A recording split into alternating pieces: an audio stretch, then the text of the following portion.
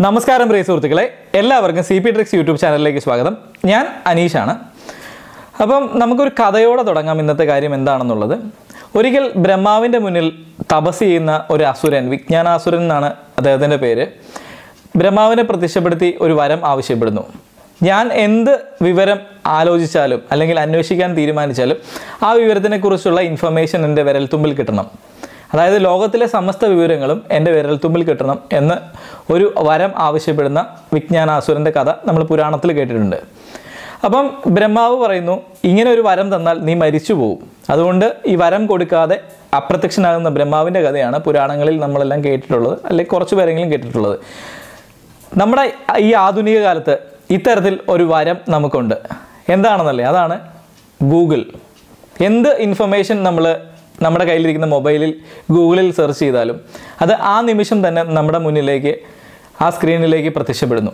അപ്പോൾ നിങ്ങൾക്ക് നല്ല കാര്യങ്ങൾ സെർച്ച് ചെയ്യാം മോശം കാര്യങ്ങൾ സെർച്ച് ചെയ്യാം രാജ്യത്തിന് ഉപകാരകമാകുന്ന കാര്യങ്ങൾ സെർച്ച് ചെയ്യാം അല്ലെങ്കിൽ ഉപദ്രവമാകുന്ന കാര്യങ്ങൾ സെർച്ച് ചെയ്യാം നല്ല കാര്യങ്ങൾ പഠിക്കാം മോശം കാര്യങ്ങൾ പഠിക്കാം. അത് നിങ്ങൾ സെർച്ച് ചെയ്യുന്ന ആളുടെ യുക്തിക്കനുസരിച്ച് അതിൽ തിരയുന്നപ്പെടുന്ന വിഷയങ്ങൾക്ക് മാറ്റം വരുന്നുണ്ട്.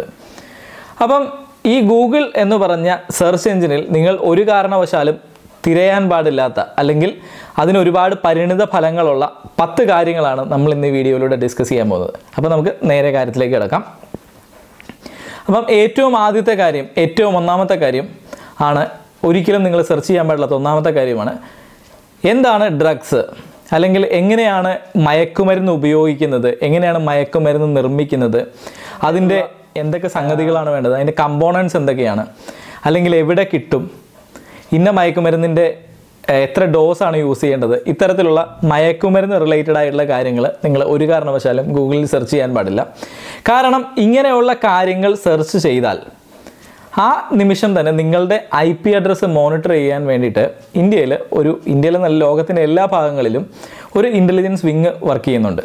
അവർ തീർച്ചയായിട്ടും നിങ്ങളുടെ ഐ പി മോണിറ്റർ ചെയ്യുകയും ഐ പി നോക്കി നിങ്ങൾ ഇതുവരെ സെർച്ച് ചെയ്ത കാര്യങ്ങൾ എത്രത്തോളം കാര്യങ്ങളാണ് നിങ്ങൾ ഇത്തരത്തിൽ സെർച്ച് ചെയ്തിട്ടുള്ളതെന്ന് ഒരു ഒരു കാര്യം ഉണ്ടാക്കി വയ്ക്കും നിങ്ങളെക്കുറിച്ചൊരു ഡീറ്റെയിൽ ഉണ്ടാക്കി വയ്ക്കും അത് നാളെ ഇത് റിലേറ്റഡ് ഡ്രഗ്സ് റിലേറ്റഡ് എന്തെങ്കിലും ഒരു കുറ്റകൃത്യം നടന്നാൽ തീർച്ചയായിട്ടും നിങ്ങളുമായിട്ട് അവരത് മാച്ച് ചെയ്ത് നോക്കും.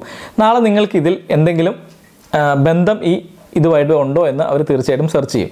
അപ്പോൾ ഒരു കാരണവശാലും മയക്കുമരുന്ന് റിലേറ്റഡ് ആയിട്ടുള്ള എവിടെ കിട്ടും എങ്ങനെ ഉണ്ടാക്കും ഇങ്ങനെ റിലേറ്റഡ് ആയിട്ടുള്ള കാര്യങ്ങൾ ഒരു കാരണവശാലും നിങ്ങൾ സെർച്ച് ചെയ്യാൻ പാടില്ല. ഇതിന് ഒരു ഉദാഹരണം ഞാൻ പറയാം.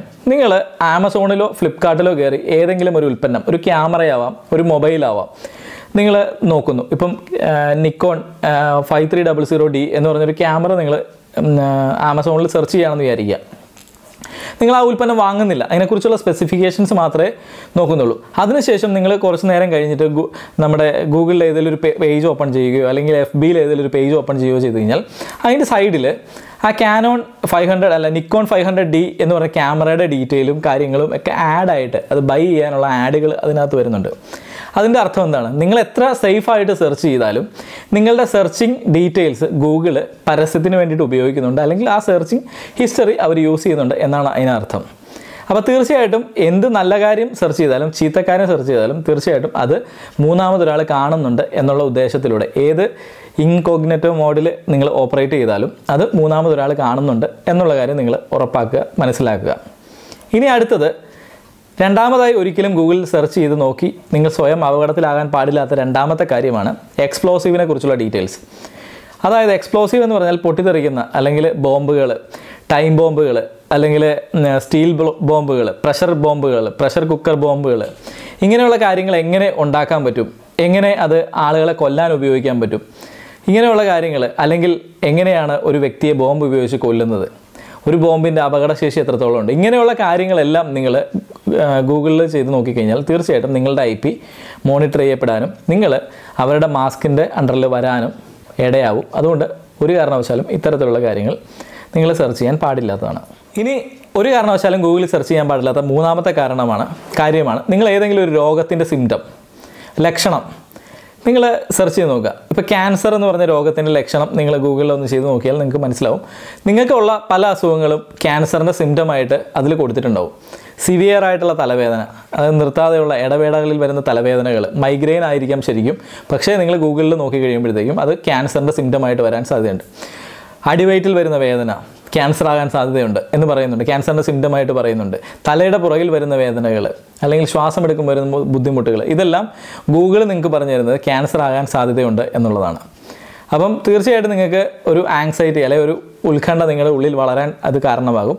പിന്നെ അതുപോലെ തന്നെ ഈ ഗൂഗിളിൽ കാണുന്ന സിംറ്റംസ് വെച്ച് മരുന്നുകൾ സ്വയം എടുത്ത് പ്രിസ്ക്രൈബ് ചെയ്ത് സ്വയം പ്രിസ്ക്രിപ്ഷനിലൂടെ മെഡിക്കൽ സ്റ്റോറുകളിൽ നിന്ന് മേടിക്കുന്ന ഒരു സ്വഭാവക്കാരാണോ നിങ്ങൾ? തീർച്ചയായിട്ടും ഏറ്റവും അത്യാവശ്യം നിർത്തേണ്ട ഒരു കാര്യമാണത്. കാരണം ഇപ്പം ഏത് കുറിപ്പടി കിട്ടിയാലും അല്ല ഡോക്ടറുടെ കുറിപ്പടി കിട്ടിയാലും പ്രിസ്ക്രിപ്ഷനിൽ പറഞ്ഞിരിക്കുന്ന മരുന്ന് എന്താണ്? അതെന്തിനാണെന്ന് ഗൂഗിളിൽ സെർച്ച് ചെയ്ത് നോക്കുന്ന ആൾക്കാരാണ് കൂടുതലും. അല്ലെങ്കിൽ അതിന്റെ ഓൾട്ടർനേറ്റീവ് മരുന്ന് എവിടെ കിട്ടും? ഇതെല്ലാം നോക്കുന്ന ആളുകളാണ് നമ്മൾ. അത് നല്ല ഇൻഫർമേഷൻ പർപ്പസിന് നിങ്ങൾക്ക് യൂസ് ചെയ്യാം. പക്ഷേ ഒരിക്കലും ഗൂഗിൾ ഡോക്ടറിനോട് ചോദിച്ചിട്ട് നിങ്ങൾ ഒരു മരുന്നും ഉപയോഗിക്കാൻ പാടില്ല. കാരണം അത് ഗുണത്തേക്കാൾ ഏറെ ദോഷം വരുത്തി വയ്ക്കുന്നതായിരിക്കും ഇനി നമ്മൾ ഗൂഗിളിൽ ഒരിക്കലും ചെയ്യാൻ പാടില്ലാത്ത ഒരു കാരണമാണ് ചൈൽഡ് പോൺ. അതായത് കുട്ടികളുടെ നഗ്ന വീഡിയോകൾ അല്ലെങ്കിൽ കുട്ടികളുടെ മോശമായിട്ടുള്ള ചിത്രങ്ങൾ മൂവികൾ ഇതൊന്നും നിങ്ങൾ ഗൂഗിളിൽ സെർച്ച് ചെയ്യരുത്. ഇത് നൂറ് ശതമാനമായിട്ടും ഇത്തരം സെർച്ചുകൾ പോലീസിൽ റിപ്പോർട്ട് ചെയ്യപ്പെടാനും നിങ്ങൾ തീർച്ചയായിട്ടും അറസ്റ്റ് ചെയ്യപ്പെടാനും ഇത്തരത്തിലുള്ള വീഡിയോകൾ കാണുന്നതും കൈവശം വയ്ക്കുന്നതും കുറ്റകരമാണ്. ഇന്ത്യൻ നിയമം അനുസരിച്ചും എല്ലാ രാജ്യത്തെ നിയമം അനുസരിച്ചും അതുകൊണ്ട് ഇത്തരത്തിലുള്ള അശ്ലീല വീഡിയോകൾ കുട്ടികളുടെ അശ്ലീല വീഡിയോകൾ നിങ്ങൾ ഇന്റർനെറ്റിൽ സെർച്ച് ചെയ്താൽ പിടിവീഴും എന്നുള്ള കാര്യം നൂറ് ശതമാനം ഉറപ്പാണ്. ഇനി അടുത്ത ഗൂഗിളിൽ ചെയ്യാൻ പാടില്ലാത്ത അഞ്ചാമത്തെ കാര്യം എന്ന് പറയുന്നത് ഹാക്കിംഗ് അറ്റംപ്റ്റുകൾ എങ്ങനെ നടത്താൻ പറ്റും? എങ്ങനെ ഒരു സെർവർ ഹാക്ക് ചെയ്യാൻ പറ്റും? അല്ലെങ്കിൽ ഇന്ത്യൻ മിലിറ്ററിയുടെ ഒഫീഷ്യൽ വെബ്സൈറ്റ് അല്ലെങ്കിൽ ഇന്ത്യൻ മിലിറ്ററിയുടെ ഇന്ന സിസ്റ്റം എങ്ങനെ ഹാക്ക് ചെയ്യാൻ പറ്റും? അല്ലെങ്കിൽ രാജ്യത്തിന്റെ സിസ്റ്റം എങ്ങനെ ഹാക്ക് ചെയ്യാൻ പറ്റും? ഇങ്ങനെ രാജ്യസുരക്ഷയെ ബാധിക്കുന്ന എന്തെങ്കിലും ഹാക്കിങ്ങുകൾ റിലേറ്റഡ് ആയിട്ടുള്ള കാര്യങ്ങൾ നിങ്ങൾ ഇന്റർനെറ്റിൽ സെർച്ച് ചെയ്യുന്നവരാണോ? തീർച്ചയായിട്ടും നിങ്ങൾക്ക് പുറകിൽ ആളുകളുണ്ട്. രാജ്യത്തിന്റെ സുരക്ഷയെ മുൻനിർത്തി അതിനെ സംരക്ഷിക്കാൻ ബാധ്യതപ്പെട്ടവർ തീർച്ചയായിട്ടും നിങ്ങളെ തൊട്ട് കയ്യെത്തും അകലത്തിലുണ്ട് എന്ന് ഓർത്തുകൊണ്ട് വേണം ഇത്തരത്തിൽ കാര്യങ്ങൾ നിങ്ങൾ ഇന്റർനെറ്റിൽ സെർച്ച് ചെയ്യുന്നവരാണെങ്കിൽ ചെയ്യാൻ. നിങ്ങൾ അങ്ങനെ ഒരാളാണെങ്കിൽ തീർച്ചയായിട്ടും ഈ നിമിഷം ഈ വീഡിയോ കാണുന്ന നിമിഷം അത്തരം സെർച്ചുകളിൽ നിന്ന് പിൻവലിഞ്ഞു നിൽക്കുക. കാരണം അതിനെ തുടർന്ന് വരാൻ സാധ്യതയുള്ള വൻ നൂലാമാലകളും രാജ്യദ്രോഹ കുറ്റം ഉൾപ്പെടെയുള്ള കാര്യങ്ങൾ നിങ്ങളുടെ മേൽ ചുമത്തപ്പെടും. അതിന് ഉള്ള ശിക്ഷയും നടപടികളും നിങ്ങൾ ഉദ്ദേശിക്കുന്നതിന് മുകളിലായിരിക്കും. ഇനി ആറാമതായിട്ട് നമുക്ക് പറയാനുള്ളത് ഒരാളെ എങ്ങനെയാണ് കൊല്ലുന്നത്? How to kill a man എന്ന് പറഞ്ഞിട്ടുള്ള കാര്യങ്ങൾ അല്ലെങ്കിൽ way to kill a man ആ ഒരു മനുഷ്യനെ കൊല്ലാൻ ഉള്ള ടെക്നിക്കുകൾ അല്ലെങ്കിൽ എങ്ങനെയാണ് കത്തി ഉപയോഗിച്ച് ഒരാളെ കൊല്ലുന്നത് അല്ലെങ്കിൽ സൈനൈഡ് ഉപയോഗിച്ച് എങ്ങനെ കൊല്ലാൻ പറ്റും? ഒരാളെ കൊല്ലാനുള്ളത്ര സൈനൈഡിന്റെ ക്വാണ്ടിറ്റി എന്താണ്? അല്ലെങ്കിൽ ഒരു ബോംബ് എങ്ങനെ ഉണ്ടാക്കി ഒരാളെ കൊല്ലാൻ പറ്റും? അല്ലെങ്കിൽ ഭക്ഷണത്തിൽ വിഷം ചേർത്ത് എങ്ങനെ ഒരു കൊലപാതകം നടത്താൻ പറ്റും? ഇങ്ങനെ കൊലപാതകം സീരീസുകൾ ഇപ്പോൾ ഒരുപാട് നെറ്റിൽ അവൈലബിൾ ആയിട്ടുള്ള കാര്യങ്ങളാണ്. ഒരു വ്യക്തിയെ കൊല്ലുന്നതിനെക്കുറിച്ചുള്ള കാര്യങ്ങൾ. അപ്പോൾ ഒരു കാരണവശാലും ഇത്തരത്തിലുള്ള കാര്യങ്ങൾ സൈറ്റുകൾ വി പി എൻ ഉപയോഗിച്ചാണെങ്കിൽ പോലും വി പി എൻ എന്ന് പറഞ്ഞാൽ വെർച്വൽ പ്രൈവറ്റ് നെറ്റ്വർക്കാണ് അങ്ങനെ കണക്ഷൻ ഇന്റർനെറ്റ് കണക്ഷൻ റൂട്ട് ചെയ്ത് മാറിപ്പോയി പോലും നിങ്ങൾ സെർച്ച് ചെയ്യരുത്. ഇത്തരം വീഡിയോകൾ കാണുന്നതും കൈവശം വയ്ക്കുന്നതും ഇന്ത്യൻ ഐ ടി ആക്ട് പ്രകാരം വലിയ കുറ്റമാണ്. അത് നിങ്ങൾക്ക് മൂന്ന് വർഷം മുതൽ ഒരുപാട് നാളത്തേക്ക് തടവ് ശിക്ഷ ലഭിക്കാനുള്ള വലിയ കുറ്റമാണ്. അപ്പം അത്തരത്തിലുള്ള കാര്യങ്ങൾ നിങ്ങൾ ചെയ്യാണ്ടിരിക്കുക. സൈബർ കുറ്റങ്ങൾ നിങ്ങളുടെ അറിവില്ലായ്മ കൊണ്ടാണ് നിങ്ങൾ ചെയ്യുന്നതെങ്കിൽ പോലും അറിയ അവർ പറയുന്ന നിയമത്തിന്റെ ഒരു വകുപ്പ് എന്ന് പറയുന്നത് ഒരു വീടിന്റെ വാതിൽ തുറന്നു കിടന്നാൽ ഒരു കാരണവശാലും നിങ്ങൾ എന്ത് ചെയ്യരുത്. അതിനുള്ളിലേക്ക് കടക്കരുത്. കാരണം എന്താണെന്ന് വെച്ച് കഴിഞ്ഞാൽ അത് നിങ്ങളുടെ വീടല്ല എന്ന് നിങ്ങൾക്ക് പൂർണമായിട്ട് ബോധ്യമുണ്ടെങ്കിൽ അന്യന്റെ വീട്ടിലേക്ക് അനുവാദമില്ലാത്ത കടന്നു കയറരുത്. ഇതാണ് ഐ ടിയുടെ നിയമം. ഹാക്കിംഗ് എന്ന് പറയുന്നതും അനാ അനാവശ്യമായിട്ട് ഒരാളുടെ വീടിനകത്തേക്ക് കയറുന്നതിന് തുല്യമാണ്. അതുകൊണ്ട് ഹാക്കിങ്ങും ഇത്തരത്തിലുള്ള ക്രിമിനൽ ആക്ടിവിറ്റീസും നിങ്ങൾക്ക് നെറ്റിൽ ചെയ്യാൻ ചെയ്യാതിരിക്കാൻ ശ്രദ്ധിക്കുക പ്രത്യേകിച്ച്. ഇനി ഏഴാമതായിട്ടുള്ളത് ഇന്റർനെറ്റിൽ പ്രചരിക്കുന്ന ഒരുപാട് ഇമേജസ് ആണ്. പിക്ചറുകളാണ് ലോകത്തെ നടുക്കിയ അപകടങ്ങൾ ആക്സിഡന്റ്സ് മരണ വീഡിയോകൾ ആളുകൾ വണ്ടി ആക്സിഡന്റിൽ മരിച്ചവരുടെ വികൃതമായ ചിത്രങ്ങൾ. ഇത്തരത്തിലുള്ള വീഡിയോസൊന്നും വീഡിയോസും ചിത്രങ്ങളും ഒന്നും നിങ്ങൾ ഇന്റർനെറ്റിൽ സെർച്ച് ചെയ്യാതിരിക്കുക. കാരണം ഇത്തരത്തിലുള്ള ചിത്രങ്ങൾ നിങ്ങളൊരു മനുഷ്യന്റെ സാധാരണ രൂപമല്ലാതെ വ്യത്യസ്തമായ ഒരു ഭാവത്തിലോ രൂപത്തിലോ തല വേർപെട്ട് കിടക്കുന്ന ഒരു മനുഷ്യനോ ഉടൽ വേർപെട്ട് കിടക്കുന്ന ഒരു മനുഷ്യനോ കണ്ണ് ചിന്നി ചിന്ന ഭിന്നമായിട്ടിരിക്കുന്ന ഒരു മനുഷ്യനോ ഒക്കെ കണ്ടു കഴിഞ്ഞാൽ നിങ്ങളുടെ സ്വസ്ഥമായ മനസ്സിനെ അത് അനാവശ്യമായിട്ട് അലോസരപ്പെടുത്താൻ ഇടയാക്കും അതുകൊണ്ട് അത്തരത്തിലുള്ള ആക്സിഡന്റ് അല്ലെങ്കിൽ horrible videos horror videos horror images ഒന്നും നിങ്ങൾ കാണാതിരിക്കുക. ഇതിന്റെ തന്നെ വേറൊരു വെർഷനാണ് നിങ്ങൾ ഈ എന്താ പറയുക ഭീകര ജീവികളെ അല്ലെങ്കിൽ ഡേഞ്ചറസ് ആയിട്ടുള്ള ആനിമൽസിനെ പിക്ചേഴ്സ് സെർച്ച് ചെയ്ത് നോക്കുന്ന ആളുകളൊക്കെ ഇന്റർനെറ്റിൽ ഒരുപാടുണ്ട്. അത് ഒരു നിയമത്തിന്റെ പരിധിയിൽ വരുമൊന്നുമില്ല ഒരു അറസ്റ്റും കാര്യങ്ങളും ഒന്നും ഉണ്ടാവില്ല. പക്ഷേ നിങ്ങൾക്ക് അതൊരു ഫോബിയ അല്ലെങ്കിൽ ഒരു മാനിയ ആകാൻ അത് സാധ്യതയുണ്ട്. അപ്പോൾ നിങ്ങൾ ആ തരം ജീവികളെ ഇപ്പം നമ്മുടെ പാറ്റയെ പാറ്റയുടെ ഭീകരമായിട്ടുള്ള എക്സാജറേറ്റഡ് ആയിട്ടുള്ള ഒരുപാട് വെർഷൻസ് നിങ്ങൾക്ക് നെറ്റിൽ അടിച്ചു നോക്കിയാൽ കിട്ടും.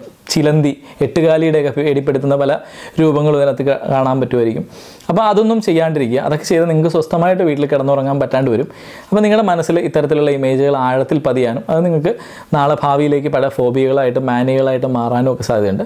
അപ്പോൾ അതുകൊണ്ട് ഇത്തരത്തിൽ ഡേഞ്ചറസ് ആയിട്ടുള്ള ആനിമൽസിനെയോ അല്ലെങ്കിൽ ഇത്തരത്തിലുള്ള കാര്യങ്ങളോ നിങ്ങൾ സെർച്ച് ചെയ്യാണ്ടിരിക്കുക. ഇനി ഒൻപതാമത്തെ കാര്യം എന്ന് പറയുന്നത് സ്കിൻ ഡിസീസുകളാണ് സ്കിൻ ഡിസീസുകൾ നിങ്ങൾ ഇന്റർനെറ്റിൽ സെർച്ച് ചെയ്യുമ്പോൾ നിങ്ങൾക്ക് ഒരുപാട് അസ്വസ്ഥതകൾ ഉണ്ടാവും കാരണം എന്താണെന്ന് വെച്ചാൽ നമ്മൾ സാധാരണ രീതിയിൽ കാണുന്ന സ്കിന്നിന്റെ പുറത്ത് വരുന്ന ചൊറിഞ്ഞു തടിച്ച പാടുകൾ മാത്രമല്ല സ്കിൻ ഡിസീസ് എന്ന് പറഞ്ഞാൽ പല ഭാഗങ്ങളിലും വരുന്ന നമ്മുടെ ശരീരത്തിന്റെ രഹസ്യഭാഗങ്ങളിൽ ഉൾപ്പെടെ വരുന്ന അസുഖങ്ങളെക്കുറിച്ച് അല്ലെങ്കിൽ അതിന്റെ പിക്ചേഴ്സ് വളരെ വികൃതമായതും ഭീകരമായതുമായിട്ടുള്ള പിക്ചേഴ്സ് നമുക്ക് ഭക്ഷണം കഴിക്കാൻ പോലും അറപ്പുളവാക്കുന്ന തരത്തിലുള്ള അസുഖങ്ങളുടെ ഫീ പിക്ചേഴ്സും ഫോട്ടോസും ഒക്കെ ഇന്റർനെറ്റിൽ റെഡി അവൈലബിൾ ആണ്. അതുകൊണ്ട് സ്കിൻ ഡിസീസുകളുടെ ലേറ്റസ്റ്റ് അല്ലെങ്കിൽ ഹൊറർ വെർഷൻസ് നിങ്ങൾ സെർച്ച് ചെയ്യാണ്ടിരിക്കാൻ പ്രത്യേകം ശ്രദ്ധിക്കുക.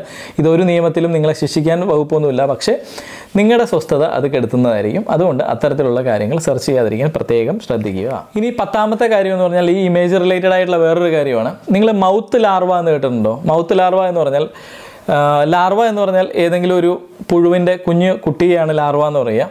മൗത്ത് ലാർവ എന്ന് പറഞ്ഞാൽ വായിക്കകത്ത് വരുന്ന ഒരു തരം പുഴുവിന്റെ കുഞ്ഞ് രൂപത്തിനെയാണ് മൗത്ത് ലാർവ എന്ന് പറയുക.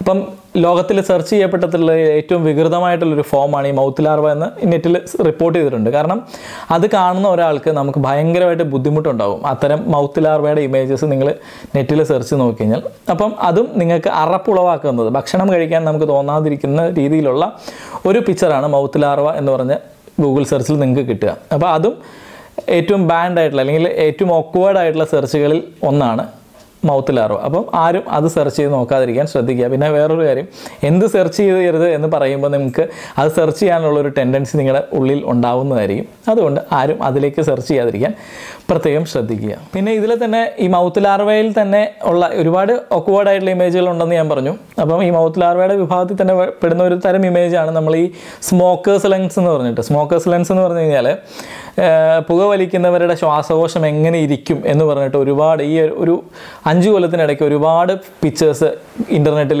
അവൈലബിൾ ആണ്. അപ്പോൾ ഇത്തരം പിക്ചേഴ്സ് കണ്ടു കഴിഞ്ഞാൽ നിങ്ങൾക്ക് വളരെ പലരെയും ബോധവൽക്കരിക്കാൻ ഉള്ള പിക്ചറായിട്ട് നിങ്ങൾ ഡൗൺലോഡ് ചെയ്ത് യൂസ് ചെയ്യുകയാണെങ്കിൽ കുഴപ്പമില്ല. നിങ്ങൾ ചെറുതായിട്ട് പുകവലിക്കുന്ന ഒരാളാണെങ്കിൽ ഇത്തരം പിക്ചേഴ്സ് കണ്ടു കഴിഞ്ഞാൽ ഉള്ളത് എക്സാജറേറ്റ് ചെയ്തിട്ടുള്ള ഇമേജസ് ആയിരിക്കും. അത് കാണുമ്പോൾ നിങ്ങൾക്ക് ഒരുപാട് ബുദ്ധിമുട്ടുകളുണ്ടാവും. അപ്പം സ്മോക്കിംഗ് എപ്പോഴും ഇഞ്ചുറീസ് ആണ്. പക്ഷേ ഇത്തരം പിക്ചേഴ്സ് നിങ്ങൾക്ക് അതിലും കൂടുതൽ ഇഞ്ചുറീസ് ആവും. അപ്പം ഇഞ്ചുറീസ് ടു ഹെൽത്ത് ആണ്. അപ്പം ഇതും നിങ്ങൾ ഇന്റർനെറ്റിൽ സെർച്ച് ചെയ്ത് നോക്കി ബുദ്ധിമുട്ടാണ്ടിരിക്കുക എന്നുള്ളതാണ്. അപ്പം ഈ ഇൻഫർമേഷൻ നിങ്ങൾക്ക് ഉപകാരപ്രദമായി എന്ന് ഞാൻ വിശ്വസിക്കുന്നുണ്ട്. അപ്പോൾ ഇത്തരത്തിൽ നിങ്ങൾക്ക് ഉപകാരം ആകുന്ന മറ്റൊരു വീഡിയോ ആയിട്ട് ഞാൻ ഉടനെ വരുന്നതായിരിക്കും. അതുവരെ എല്ലാവർക്കും നമസ്കാരം ഗൈസ് ബൈ